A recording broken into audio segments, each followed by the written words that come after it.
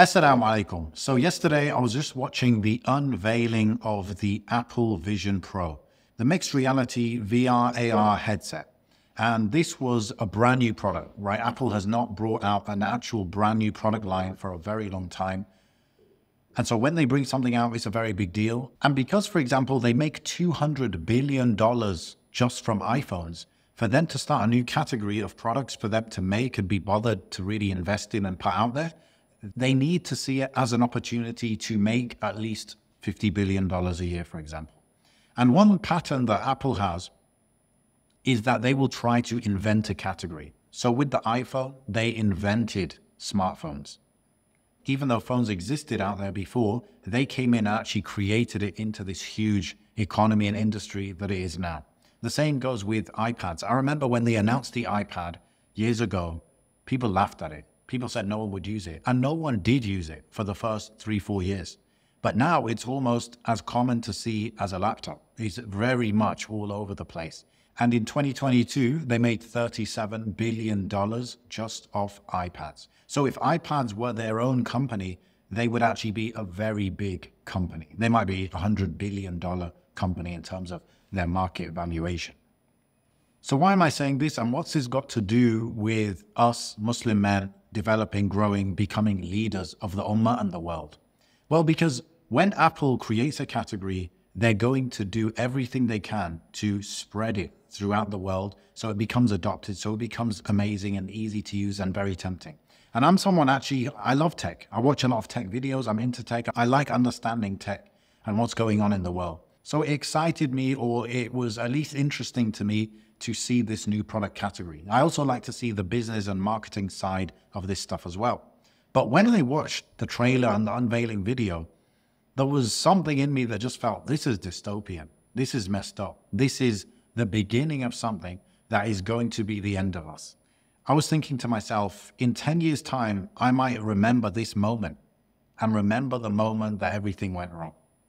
Because the truth is, I've been noticing a pattern, many of us have, of isolation seeping more and more into our lives. People are lonelier than they've ever been. They have less connections than they ever have. And something tells me this is not by accident.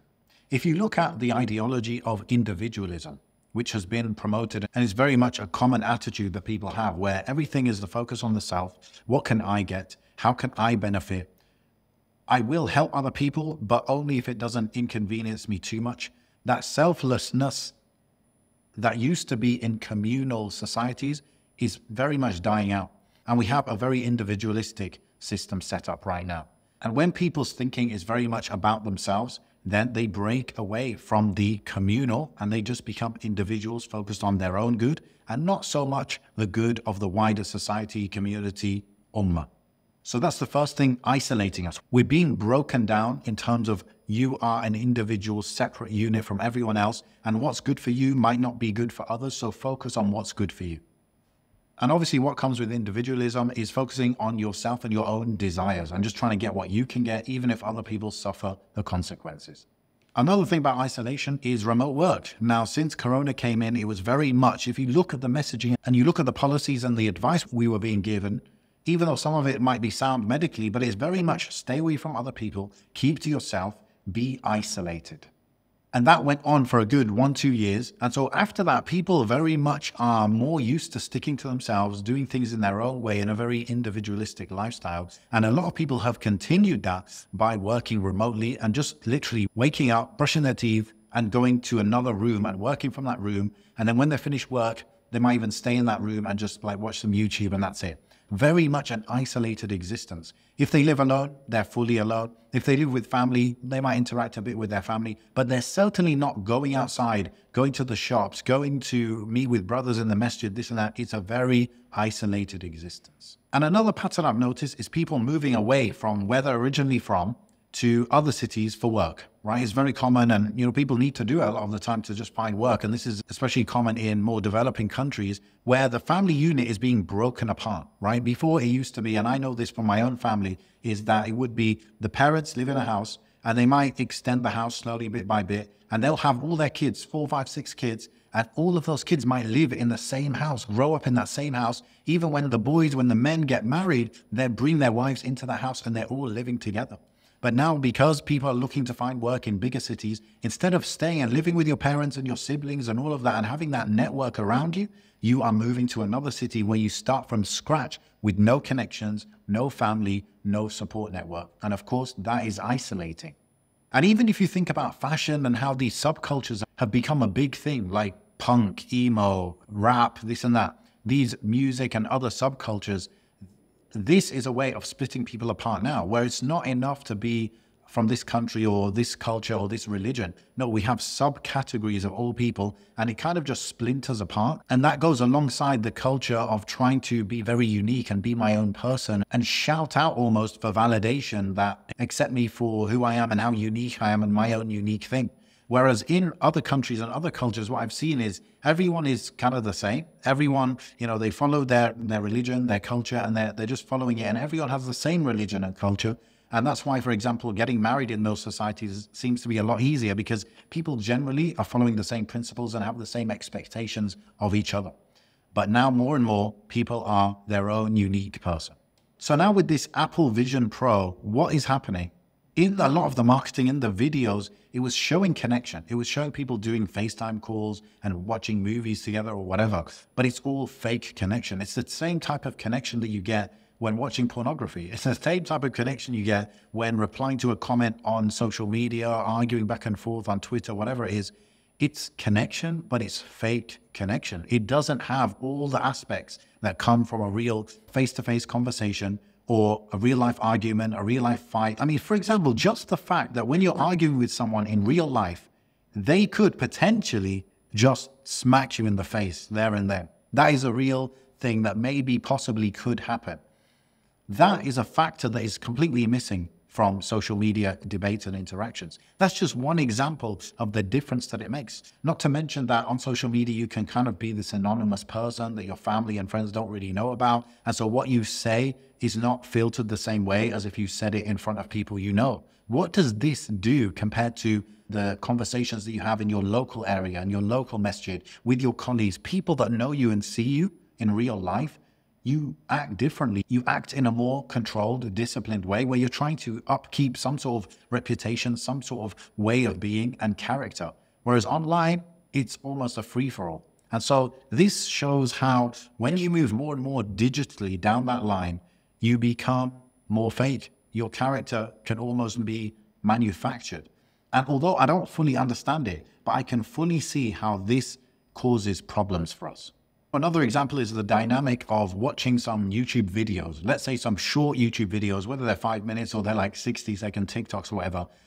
The experience you get from that of learning the deen of Allah versus going weekly, for example, and sitting two hours at the feet of a scholar and going through a book cover to cover and having the scholar there, seeing your interaction, asking you questions, asking you why you didn't come last week or asking what your opinion is on something that is a very, very different experience you can imagine. And so imagine taking the difference between those two things and applying it to your whole life. No doubt, there are some people in the background plotting and planning to isolate us more and more. Part of this is natural from the technology that's coming out, but I am certain that part of it is a deliberate attack on us. They want us isolated so that we're divided, so that we're weak, so that we're easy targets, so that we don't have what Islam has taught us to come together, to be an ummah, to pray in jama'ah, to visit the sick, to have knowledge of the poor people in your local area. And of course, when we're isolated, when we're weak and vulnerable, they can control us. So why am I making this video? Why am I saying this? I mean, I'm kind of ranting, but I'm kind of saying to you, don't be a vegetable. Don't fall into these plots and plans that are bad for you and get out into the real world. Do a real life sport attend a local masjid dars or reminder or something. Go to the masjid and pray. Get involved in dawah, in activities, charity activities, volunteering in your local area. Don't fall into this trap and this idea that dawah is to be done online. There is dawah online and there is plenty of dawah, activism, charity work, volunteering to be done in real life in your local area. And actually, I would recommend that should be your focus. So basically, make sure you have real connection in your life, real interaction with people in 3D. And that's going to be good for your mental health. It's going to be good for your ajr and your akhirah. And it's going to be good for avoiding all of the things that they can shove down your throat in a very controlled digital online environment. Now, the problem is a lot of brothers have told me there's no one in my local area I know that I can really relate to who are on the same wavelength as me. And this is part of the problem is that we've splintered into all our different cultures and ways of thinking, even within the same city.